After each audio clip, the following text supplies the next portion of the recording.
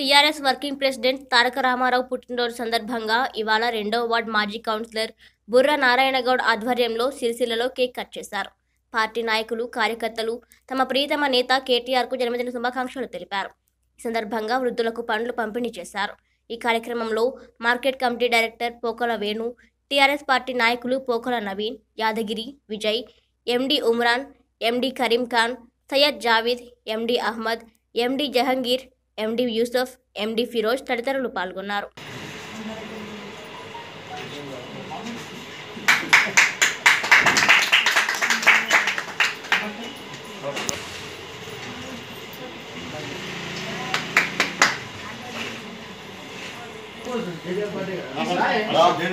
అలా